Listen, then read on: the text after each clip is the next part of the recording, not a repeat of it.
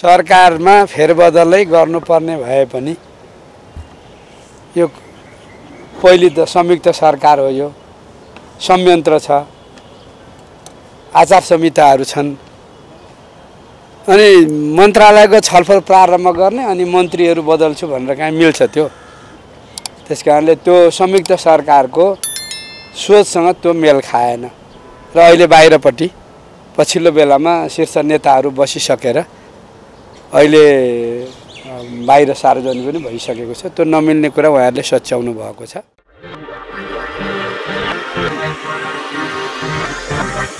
छ